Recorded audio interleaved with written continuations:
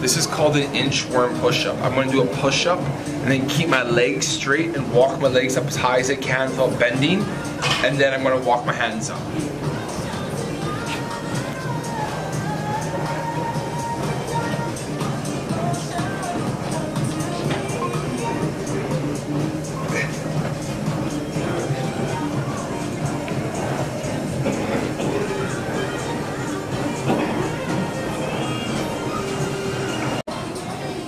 This is called the wall sit arm slider.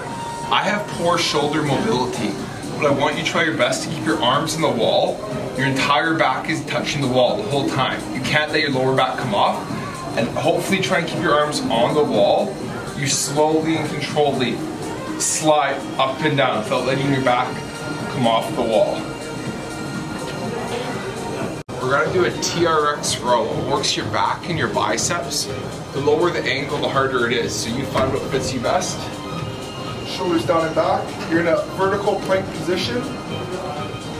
Pull up and squeeze your shoulder blades.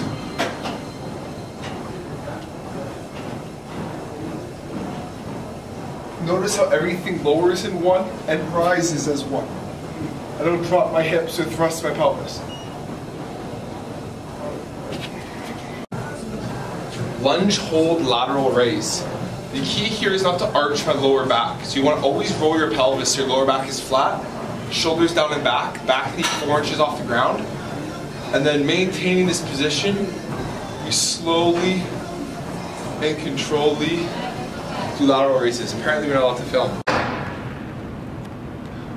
Trying to make another abbreviation. I want you doing this with a 10 to 15 pound medicine ball. This is the last part of the circuit. Just keep our heart rate going. It's called active rest as we recover. Just slams.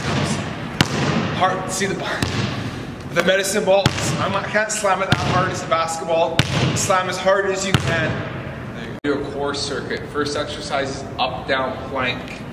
So you're gonna start in a plank position. And I want you to push onto your hands as fast as you can with moving your hips as little as possible. And I don't wanna see this. I want to see actually from your elbows to each hand. So it's as fast as you can.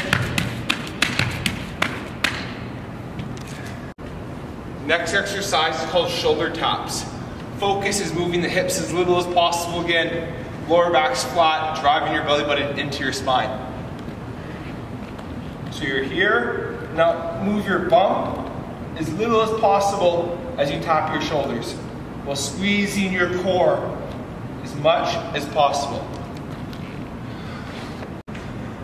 Next exercise is plank, leg alter, um, alternating. Keep your butt low as you raise the leg, only about six inches off the ground. I don't want to hear it make contact with the floor. Nice and controlled.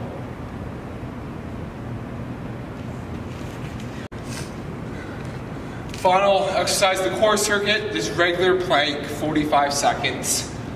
Again, shoulders over elbows. Walk your toes up, heels towards the ground, lower back flat, squeezing as hard as you can.